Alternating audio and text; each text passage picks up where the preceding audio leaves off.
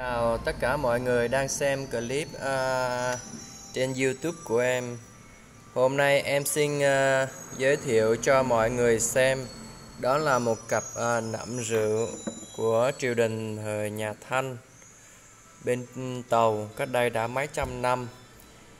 Và cái công dụng của cái nậm rượu này là nó dùng để đựng rượu trong những cái dịp ờ, lễ cưới hỏi hoặc là những ờ, dịp lớn ở trong nhà ờ, thì được những người siêu tầm như em được duyên sở hữu những cặp nậm rượu như thế này qua tay những cái nhà siêu tầm khác. Thì à, em nay em xin gửi gắm quay cho các bác xem và làm clip này để cho các bác xem uh, chi tiết.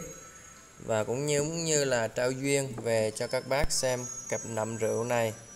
Nó là một trong những loại hình đồ lông ẩn vẽ rồng ở trên mây. À, ẩn ở trong mây là một cái đề tài đang à, gọi là gây sốt trong thị trường vì đề tài lông ẩn là một trong những cái dòng đề tài à, được à, nhiều người sưu tầm. Thứ nhất là nó cũng dễ chơi. Nó à, mang ý nghĩa về à, à, quyền lực. Cũng giống như là cái à, à, cốt cách à, của à, cái à, cái cái cái thú chơi đồ cổ sưu tầm đồ cổ. Và đồ cổ cũng là một trong những cái kênh mà để à, những bậc à, thương nhân à, để mà hoặc là những cái người mà người ta có điều kiện trong xã hội để họ hợp thức hóa những dòng tiền à, chính đáng. Và đồ cổ à, cũng là một trong những cái kênh gọi là thương mại à, siêu tầm chơi và thương mại để mà sở hữu à, trao duyên nó mang lại một cái lợi nhuận và bán theo tầng lớp của xã hội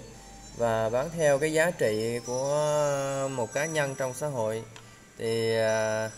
bác nào mà có nhu cầu sở hữu những cặp nậm rượu à, vẽ rồng như thế này